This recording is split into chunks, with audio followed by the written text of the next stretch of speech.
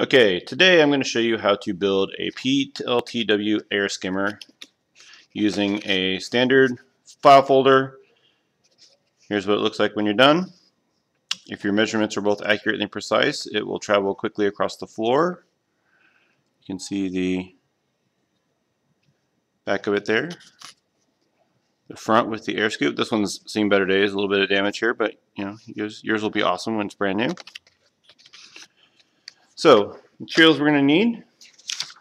We're going to need our plans. It shows the exact measurements that we need to make for the main body panel, the fins, and for the air scoop. We're going to have our instructions. There's also a power or a slide point, uh, Google slide presentation that will show us how to do that. And we have our file folder, which we will use to um, create the actual air skimmer, a ruler for measurement, a pair of scissors, glue stick, and some tape.